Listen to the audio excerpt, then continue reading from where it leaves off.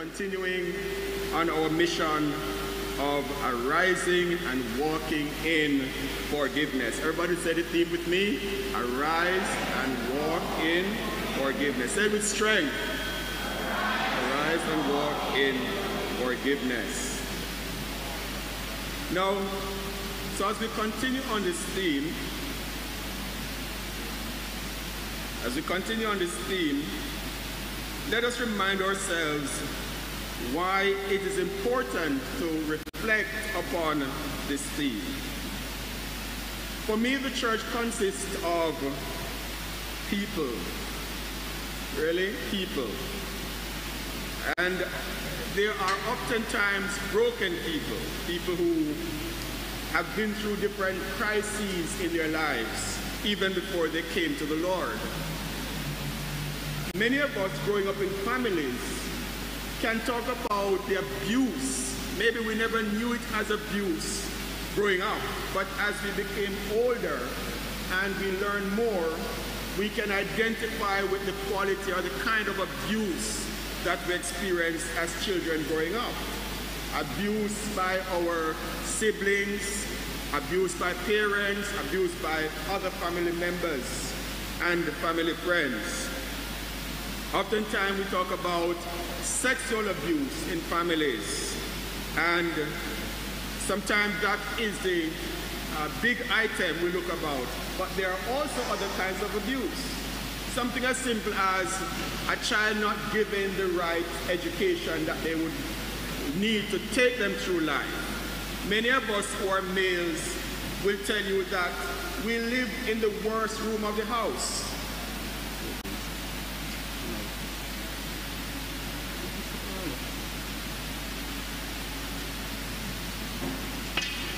Many of us will tell you as children that we live in the worst room of the house. There are four boys and one female. The one female live in the front room on a double bed, mirror. The four males live way down in the back room on a single bed, no mirror, nothing like that.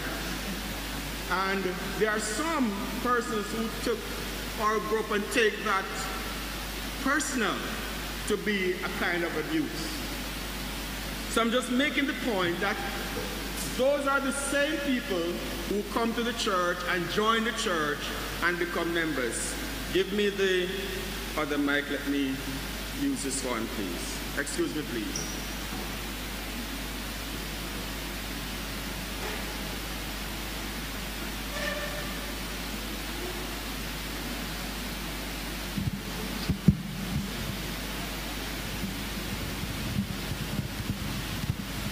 Amen. You're better now, don't it? Yes. Right. So so those are some of the issues that we grapple with even as we become members of the church. So becoming converted, going into the pool and becoming baptized or even becoming filled with the Holy Spirit does not automatically heal us from some of those things that have formed our lives for 10, 15, 20 years. And some of us need therapy to fix those things. Amen.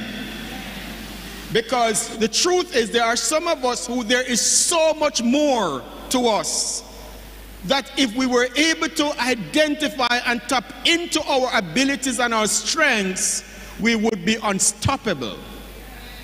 But the issues that bring to bear upon our lives, many of which we never had any uh, responsibility for, have deformed us. And that is a, that's a fact. People like Sister Avagay, Sister Miller will tell you that some of the issues, no doubt, that they see in meeting people who are coming in for counseling are existing from many years ago. But even as an adult, they struggle with those things. And the truth is, if we should ask for a show of hand in this house today, how many of us are struggling with some childhood uh, issues? If we're to be honest, I believe many hands could be raised. So, although the blood of Jesus cleanses us from all our sins, we still struggle with some things in our lives. Say amen if you believe me. So, these are the people who come to church. And then we come to church and we are seeking now to exist. I with my own baggages, you with your baggages, and we're all trying to exist in one space. And guess what's going to happen? We are going to clash. Amen? Your attitude is going to upset me, and my attitude is going to upset you, and we're going to have problems. That is why it is important that the church holds up in front of its members the doctrine or the teaching of forgiveness. Because our humanity is so pervasive that if we're not careful, we live by the dictates of the flesh rather than living by the dictate of the spirit. We have to be reminded that our humanity needs to be brought under subjection. Amen. So, today we're going to look briefly at the epistle, a part of the epistle to the Colossians written by Paul. This epistle, of course, was written by Paul during his first captivity in Rome at about AD 62. The epistle was addressed to Christians of the city of Colossae and was delivered to them by Tychicus, whom the apostle had sent both to them and to the church at Ephesus. So when you talk about AD 62, you're looking at something that happened a long time ago. So, what is the importance of that? To see how, when Paul wrote to the church at Colossae about AD 62, the issues in the church are the same issues that we are grappling with today. Why? Because the issues that we're grappling with are issues within people. And people, AD 62, are people in the year 2022. Some differences in cultural um, changes and so on, but still human beings. Amen? Talk to me, man. Amen? So, of course, he wrote to them to inquire of their state and to administer exhortation and comfort to them. The main objective of the epistle is to warn the Colossians against the spirit of semi Judaistic and semi Oriental philosophy. We don't now grapple with uh, semi Judaistic or Oriental philosophies, but we grapple with an invasive world system that wants to make us act and believe and behave like they do. We grapple with that. So we too have to take the exhortation and the warning of the apostle seriously. Raise your hands and praise the Lord in this house. So he wanted them to recognize that these philosophies were corrupting the simplicity of their belief and was noticeably tending to obscure the eternal glory and dignity of Christ. So, one of the things that I want us to understand is how offense can corrupt the simplicity of the gospel and it can obscure the eternal glory of the dignity of Christ. When we forgive, we are honoring God. Are you with me? When we forgive, we are honoring God. We're honoring God even when our flesh wants to hold vengeance. We decide in our minds that we're going to honor God by forgiving. When I was preparing the sermon, this thought came to me and I said I wouldn't share it with you, but I'm going to share it since it's come back to me now. I am not standing up here to tell you that forgiveness is easy. And I know some of you nice, holy ones would say, oh, yes, Pastor, it's easy. But it's not easy because our flesh loves vengeance.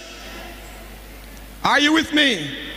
Our flesh loves to see when somebody who offends us meet their Waterloo. We love to see when people are being affected by their actions towards us. So it requires discipline. Everybody said discipline to forgive. It requires discipline to forgive. But because we want to honor God, because we want to honor God, it's not it's not so much, you know, Sister Banton Thomas, that I want to forgive, you know. Sometimes I would want to hold it because you know how you can feel nice in unforgiveness. But when you remember how it dishonors God, you realize that it is not something you want to hold in your heart. So I find the idea stated here regarding the simplicity of their belief to be an important point for our reflection.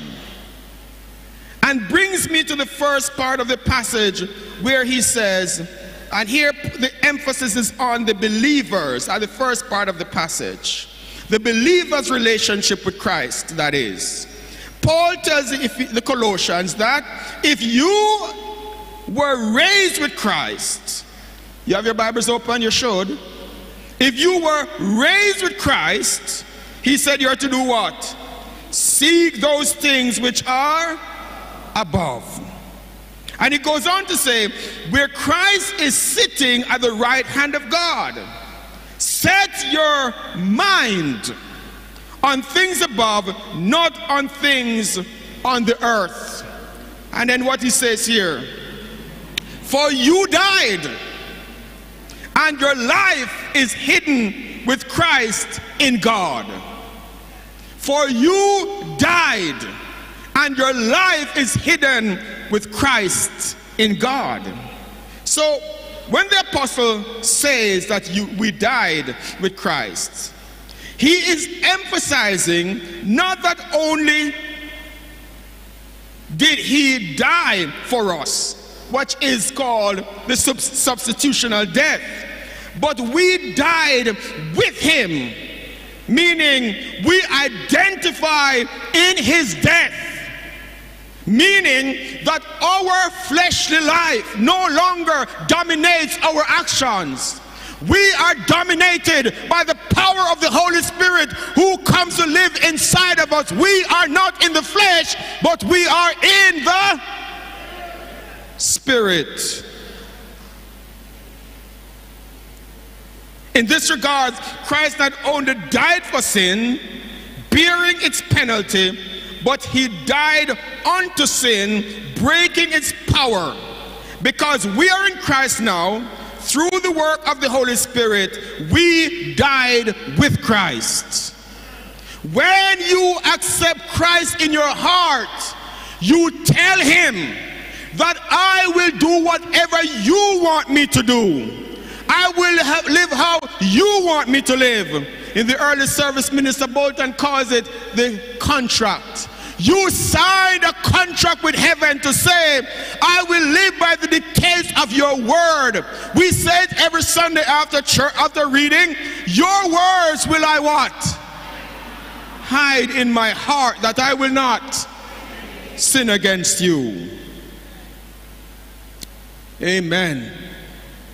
And when we come to Jesus, that's what we say. Hear what the Corinthians says. Paul says in the Corinthians in Corinthians 12, 1 Corinthians 12.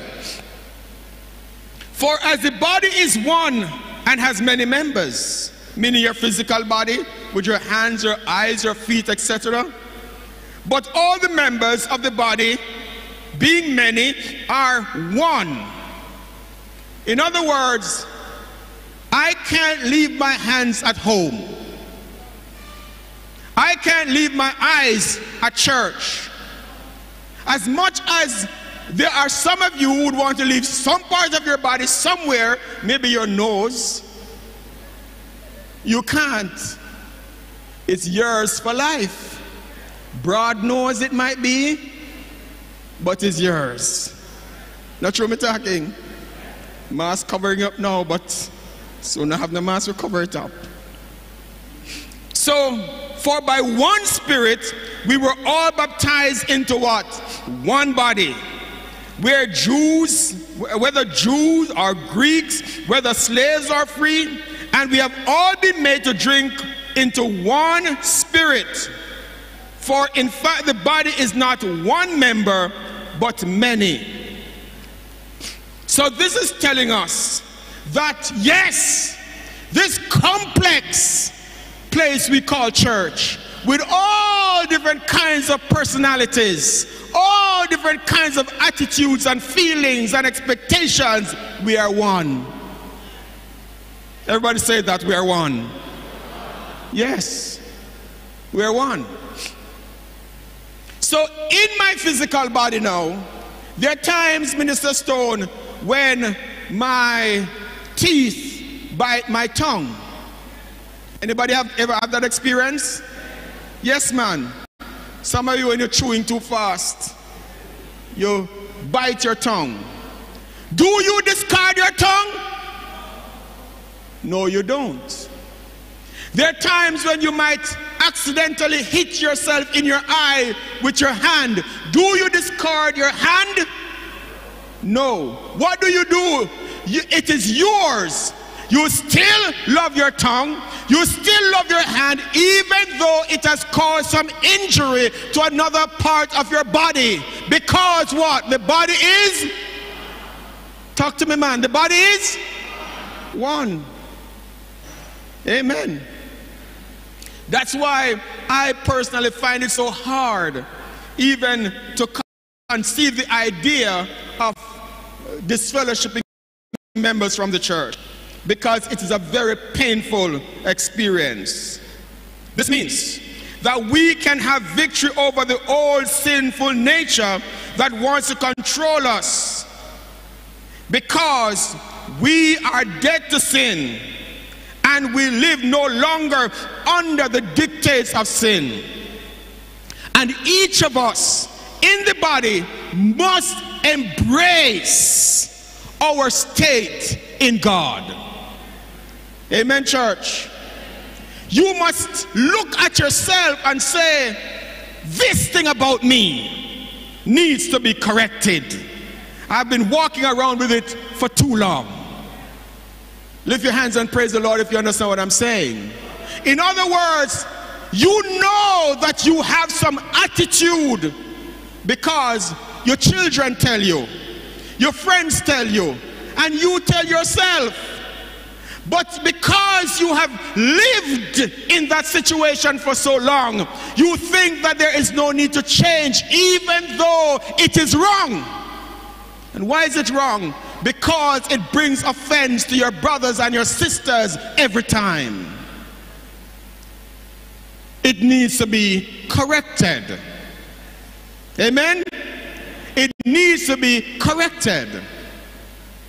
You know, many years ago, I had some friends, and every time we meet up, they would say to me how terrible I am.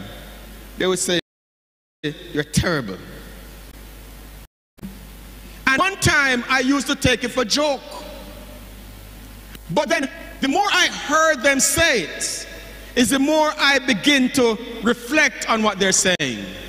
And I said, maybe I am very terrible. And what I do was not to begin to feel offended by what they say to me, but I use their criticism of my character or of my behavior, let me say, to make adjustment. If you are at a place where people cannot tell you about your bad ways, you are in problems. Are you hearing me? If you are at a place where your friends or people cannot come up to you and say, I don't like your attitude, you are in problems because you will never ever correct some of those faults that you have brought into your new life. I've always said this that when you're married, husband and wife, and listen to me, you must know when to tell your wife, say, you're wrong. Hello? And hus- wives must know when to tell their husband that you're wrong, you should not have done that. If every time your husband come to you and tell you some horrible thing that he has done, all you can laugh and say, and all the time is the same vice versa, you can just have fun about it. You have a problem in that marriage. Somebody must say, you should not have said that. You should not have done that. You are wrong for saying that or saying that. That's one of the objective of being married. You must correct one another's faults. Amen. I tell people every day, you know, if I want to do anything bad to anybody, I can't make my wife know. Because she will listen to me, in, listen, good, good listen.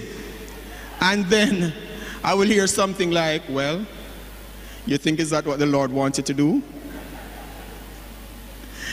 So, so if I want to do anything, I to hide it from her. And it's the same for her. I will listen to her and I will say, Well, Pat, I don't think you should do that. That's, that's, that's not right. We have to correct one another. Raise your hands and praise the Lord in his house. So, within the new life, we are required to take actions towards accomplishing the standard of the new life. Everybody say the new life. This is why in verse 2, the apostle instructs the reader to set their mind on things above. Set their mind on things above. And here Paul is saying, habitually set your mind, your attention on the things above, not on things on the earth. Someone says that our feet must be on earth, but our minds must be in heaven. This is not to suggest, as D.L. Moody once said, that we are to be heavenly minded and no earthly good. It means that the practical everyday affairs of life get their direction from Christ in heaven. It means further that we look at earth from heaven's point of view. In other words, Sister Abigail, I see you as God sees you. Are you with me? Sister Spooner, I see you as God sees you. And let me tell you, God doesn't see us even like we see ourselves. God sees us as his prized possession. God sees us as important. God sees us as his precious jewels. That's how God sees us. And I know because I'm seated with Christ in heavenly places, must have that same view of my brothers and my sisters, the same eyes through which God is looking on my brothers and my sisters. I must look on them through those same eyes. Amen. So, Paul tells us to do two things. He said, we must put off, in fact, he said, put to death your members which are on the earth. So remember, he said, do not look on the earth. Don't set your affection on the earth, but set your affection where? And then he's telling us now some of the earthly conditions that we have to grapple with. And he said, put to death your members which are on the earth fornication, uncleanness, passion, evil desire, covetousness, which is idolatry, anger, wrath, malice, blasphemy. Filthy language out of your mouth. Do not lie to one another, since you have put off the old man with his deeds. In other words, you shouldn't find yourself involved in these things that you are because you are now a new person in Christ. You put them to death. Amen, church? You put them where? To death.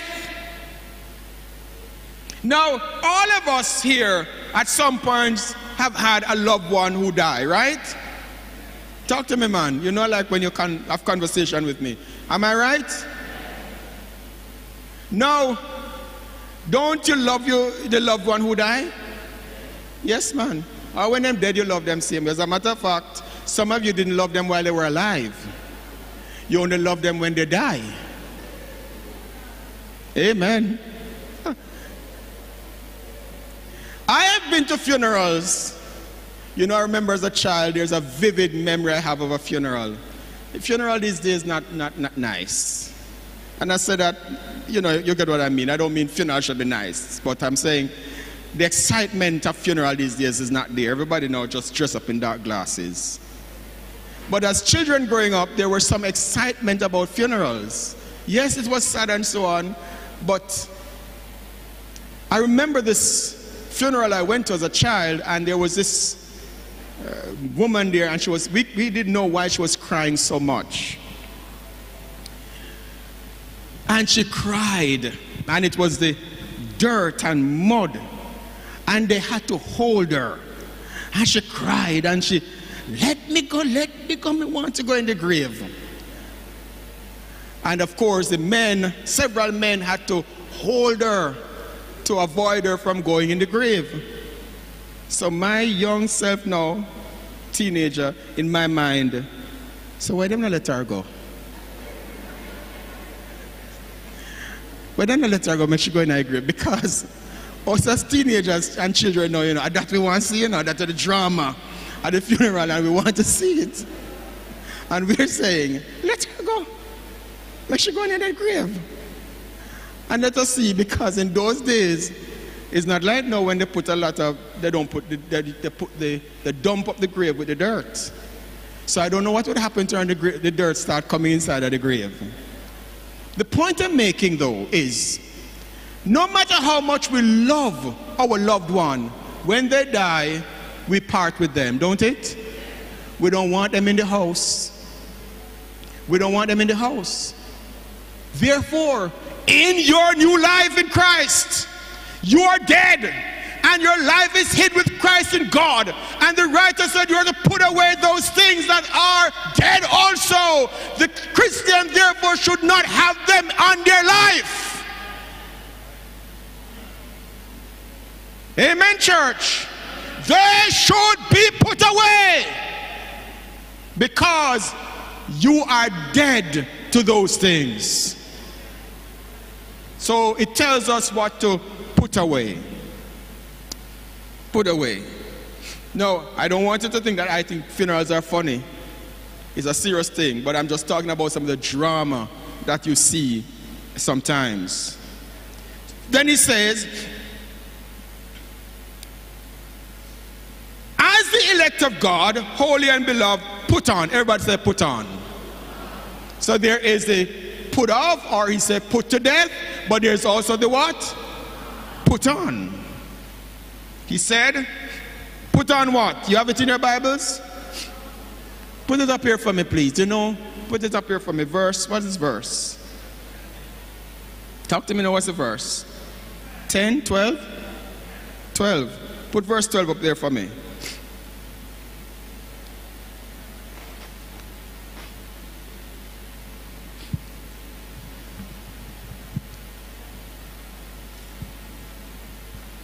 I don't know if I can read that. It, so it says, um, you can read it? All right, let us, those who can read it, those with good eyesight, go ahead and read for those of us who don't have such good eyesight. What it says, verse 12, therefore as the elect of God, holy and beloved, put on what? Say it with strength, man. Tender mercies, what else? Kindness, what else?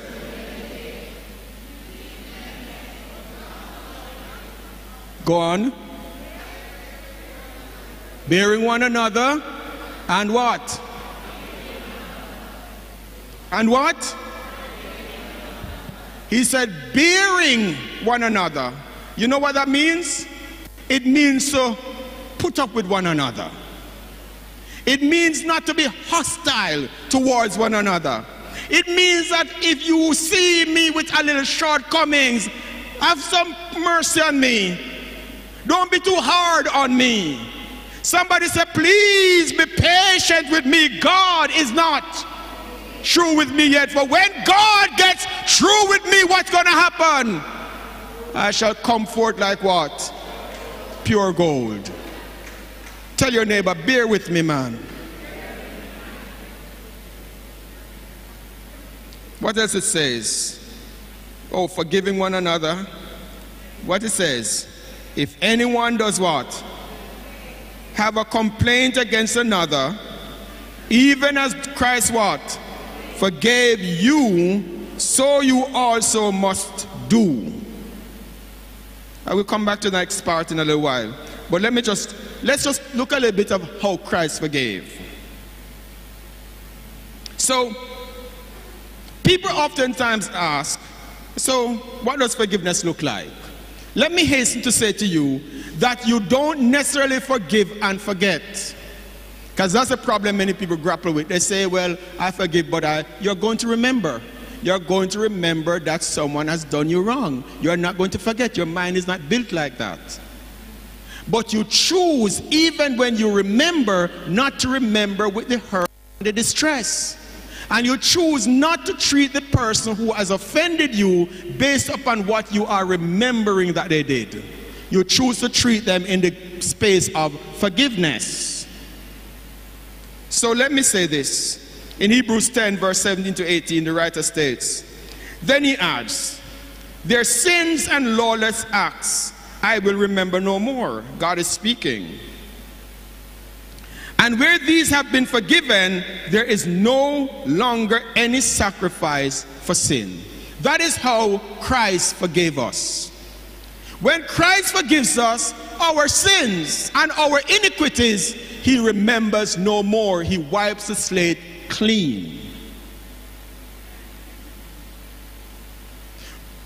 And then Paul says, what does Paul say?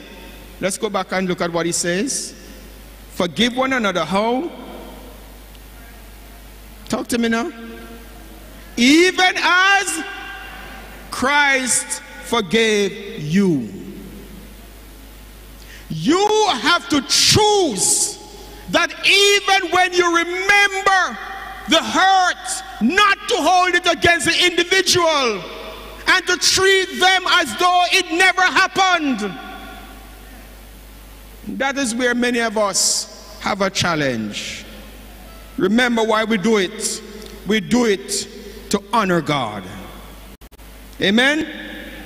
We do it not because we want to do it, but we do it because we want to honor God with our lives. Raise your hands and praise. Because the Holy Spirit is bringing up in our minds the individuals, the people who we have slighted. You know, you may have heard this story, some of you. A friend of mine, many years ago, we had good friend, we're church, good friends, and all of a sudden, Sister Morgan, I am not speaking to the young man, he's not speaking to me. And I'm thinking, what is going on? And it goes on for a long time, so much that when I see him, I get upset, and I think he got upset when he saw me. And when I couldn't stand it anymore, I said, I have to find out what's going on. I went to him and I said, What have I done you? Why aren't you speaking to me? He said, I am asking myself the same thing. What have I done you? Why you're not speaking to me? I said, You haven't done me anything. He said, You haven't done me anything. So I said, Why aren't we speaking to one another? And was a big laugh. But do you see how the enemy could have mashed up a good relationship because of nothing? Somebody had to confront the situation so that it could be remedied. If you are finding yourself in a situation that needs confrontation in the name of Jesus Christ of Nazareth, get up and confront it. Do not sit down and pray about it and fast about it. You are wasting your time. There are some things that fasting won't fix. oh God, maybe I'm, I hope, I hope I don't go over too far now. But there are some things that prayer won't fix. You have to get up out of your pride. You have to get up out of your self righteousness. You have to get up out of that place. Arise out of that situation and go and make it right. Because that is what God wants you to do. I heard a pastor preach and said one time that this sister was at the altar pray, praying and shouting and, and going on. And he went down and said to her, What's the problem? What's the problem? Or what's going on? She said, Oh, God wants me to repent. God wants me to repent. So if God wants you to repent, what you there at the altar fight God for? You know. And you know how some of you women can go on at the altar, right? You know, he's if you hold some of you at the altar, you know. you say, God want me to repent. So if God wants us to repent, do you know that there are some of us who there is so much, and I said this before, but I'm closing now. There's, there's so much in us, so much greatness in us if we would get out of this place where we find ourselves and begin to just let go and let God, if we would get out of this place where we find ourselves and let go and let God, we would see God doing some things in us that we would begin to wonder, is this me? Yes, it is you. But until you have decided that I'm no longer a slave to fear, I am a child of God, then some things will not begin to happen in your life. Hallelujah.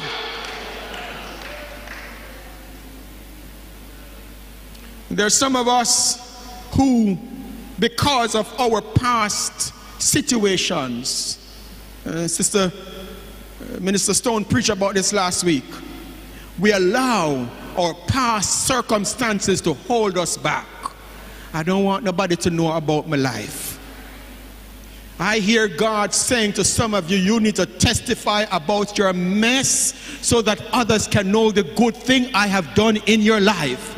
I hear God saying you need to testify about your past so that people can know where you're coming from and see how good I have been to you. Because some of us come to church, dress up ourselves, looking all good, and everybody think we're coming from a good place. But some of us have come from a horrible place. And it is the grace of God, it's the goodness of God, it's the mercies of God why we can stand in this place and lift up our hands. And somebody need to know about the goodness of God. Oh, hallelujah.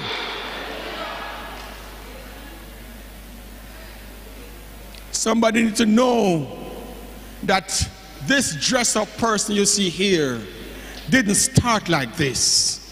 God has brought me from a mighty long way.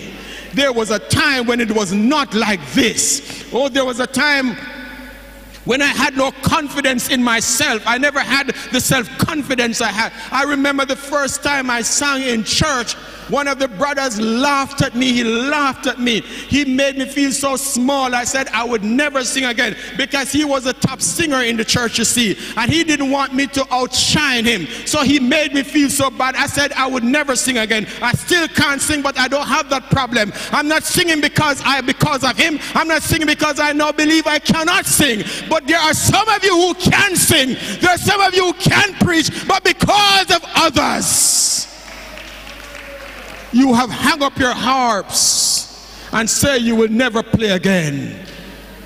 But I call you now out of that situation to rise up out of it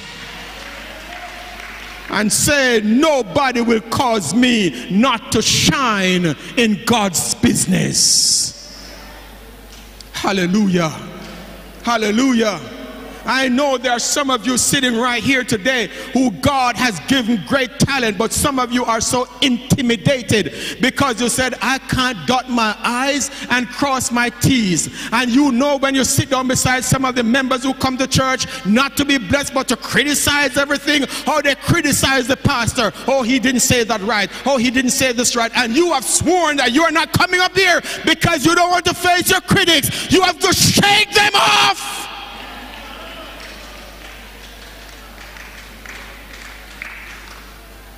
Shake them off. Are you with me? Don't allow your circumstances to prevent you from accomplishing what God has ordained for your life. Arise out of your brokenness and live in the power of God. Live in the power of forgiveness. Help me preach and tell your neighbor, arise. Hallelujah. Hallelujah. Can I tell somebody that everybody has a past? Oh, you don't hear me. You don't hear me. Can I tell you that now? Let me tell you, young people, some of you young people, some of you watching me online, and you are there with your issues. You're struggling with your issues, and you don't know how to break out because you look at Pastor Headlam, you look at this, you look at Minister that, and you say, Oh, they're perfect. I have news for you, they're not.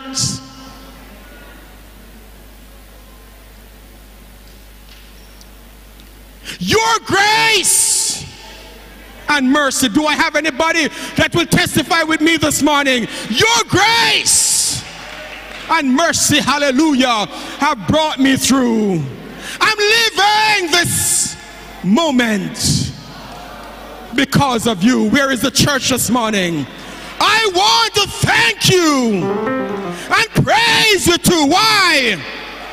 For your grace and mercy, hallelujah have brought me through. If you have been brought through by the grace and mercy of Almighty God, you need to stand up on your feet in His house this morning and let's bring this service to a close with a shout of praise in His house this morning. If you know, hallelujah, that is your grace, shout hallelujah. Hallelujah. Hallelujah. Yes.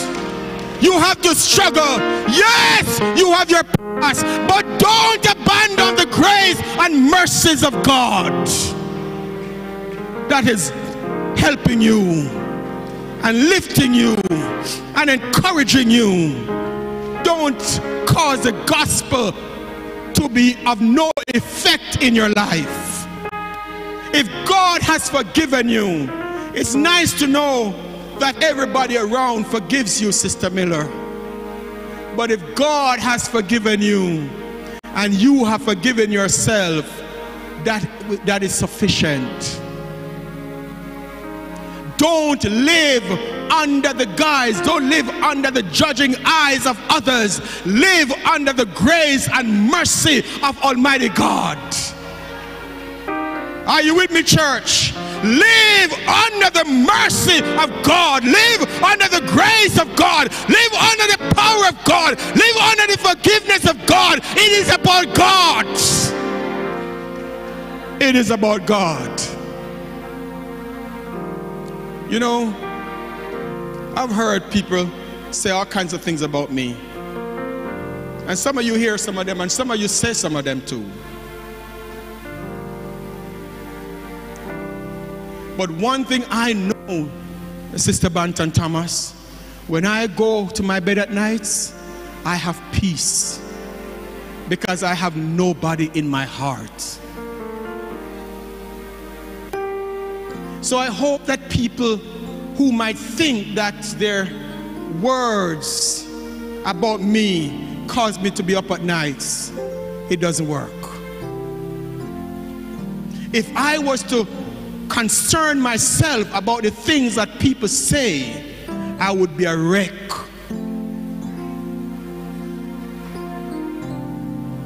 I remember a member said to me one day after a convention, he came and he said to me, Pastor, what you do with this person? I said, What you mean? I don't even know the person. He said, you were walking in the convention and the person said, You see him up there? He has no behavior. I said, I don't even know the person. I've never spoken to him. Why would he say that? Sometimes when people are jealous of what God is doing in your life, they try to tear you down. Don't allow anybody to tear you down. Don't allow anybody to prevent you from what God has established in you. Hold up your head.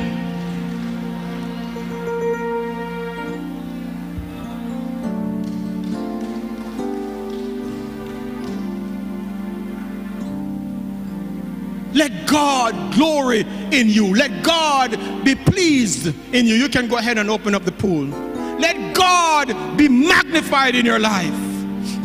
There are some people who have come in your life to try to cover the glory of God in your life.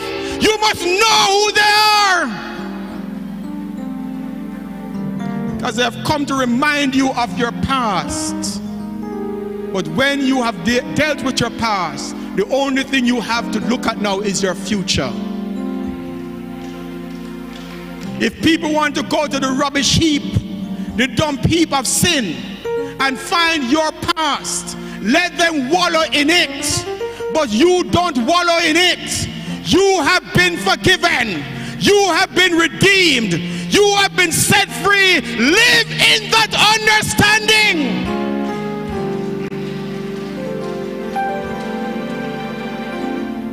Don't allow people, no matter who they are, to make you feel bad about who you are. You are a child of God. Let us sing that song, Your Grace and Mercy brought me through.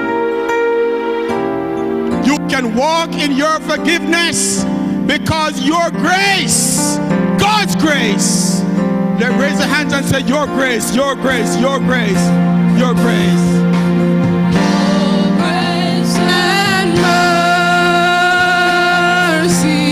Hallelujah. Brought me through. I'm living this moment. Yes.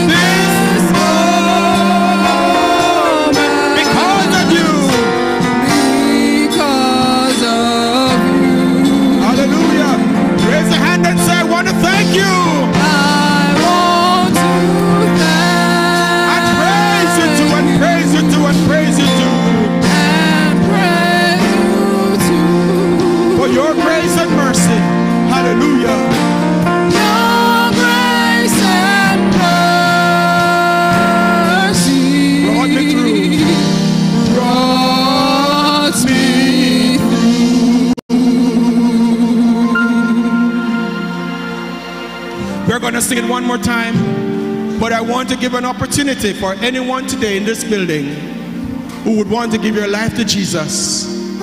We're going to pray with, you, but you need to just step right out here. If you're here and like to give your life to Jesus, step forward as we sing it just one more time. Then we're going to pray and go right into the baptism. The candidates need to get themselves ready, baptizers, get yourselves ready. One more time, if you need to serve the Lord, if you want to give your life to Jesus, please step forward now. Your grace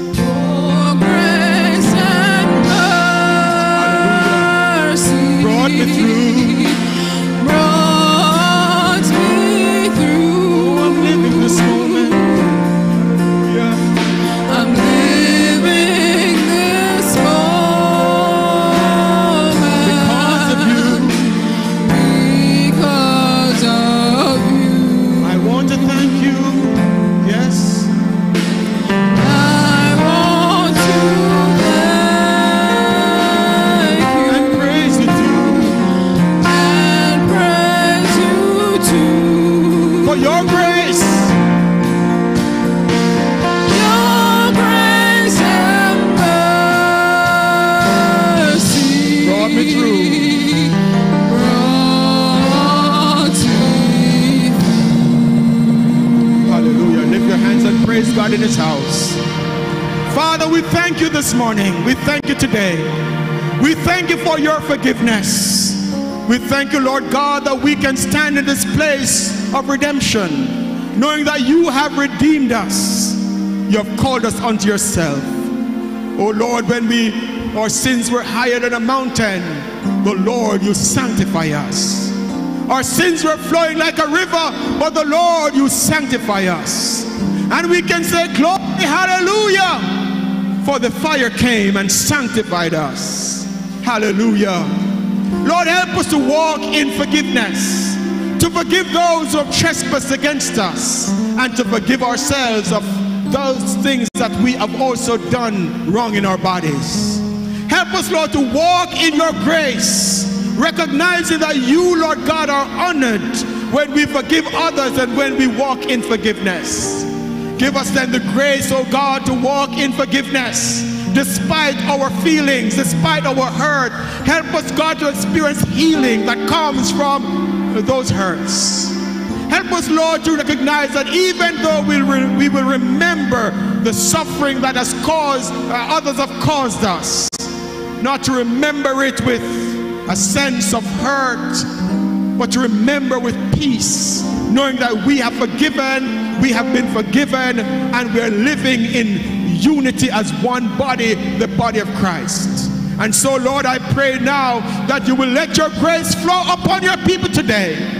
Those, God, who are struggling, there may be individuals, God. Yes, there are individuals who are today in the service and they are struggling with past situations that have battered their souls for a long time. But I pray for the healing power of Jesus this morning to flow upon them that that which have deformed their character that has made some people miserable, made them too easily upset and caused them to experience such uh, deformity within their souls. I pray, God, that your healing power today, the balm of Gilead, will fill them and your people shall be made whole in Jesus' name. Bless your people today, God. Lord, as we enter into this time of baptism, I thank you for your children who have come home to you. I thank you that, Lord, you are still saving, still forgiving sinners, and still receiving them into your eternal kingdom. Oh God, I pray your blessing upon them, and I pray your blessings upon the baptizers. I pray your blessing upon the, even the water, God, and that this moment will be a time of great blessing, God. That, Lord, will remember how when you were baptized at River Jordan, your Father spoke from heaven and said, This is my beloved Son in whom I'm well pleased. I believe that today there is rejoicing in the presence of the angels for these who have come to you. And I thank you, God, that there is rejoicing in this church also for those who have come to you. Oh, God, continue to save your people, I pray. And let your salvation be made available to those who are lost. In Jesus' mighty name we pray. Let all the people say amen.